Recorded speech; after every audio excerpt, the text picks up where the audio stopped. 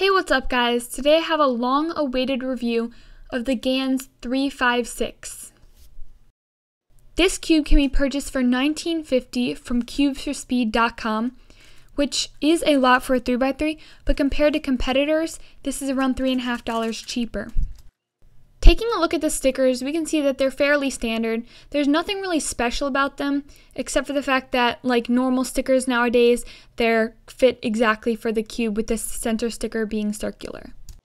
This cube has a very soft and buttery feeling, which is very unlike any of the other GANs puzzles.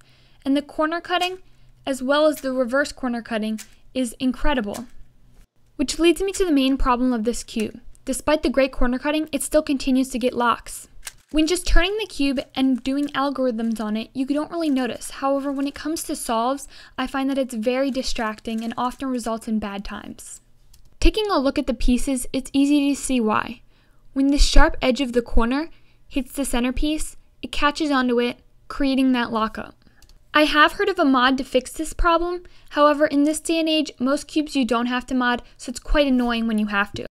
While we're focused on the centerpiece, as you can see, it's a very weird way of tensioning. If you stick this plastic piece on top and twist, it'll either tighten or loosen the cube. Another thing to note about this puzzle is that both the edge and the corner comes with screws in it. I've yet to do anything with these, nor do I understand why they're there, but they are. As should be assumed by the name, this cube is smaller than most 3x3s, coming in at 56 millimeters. Overall, would I recommend this puzzle? Probably not. There's two main reasons for this. Number one is the price. $20 for a 3x3 is absolutely ridiculous. That is way overpriced and unnecessary.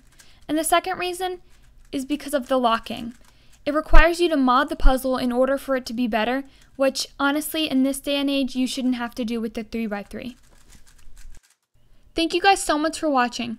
If you have any questions, comments, or concerns, feel free to leave them in the comment section. Also, follow me on Instagram at JustKeepCubing and like me on Facebook, also at JustKeepCubing. Thanks. Bye.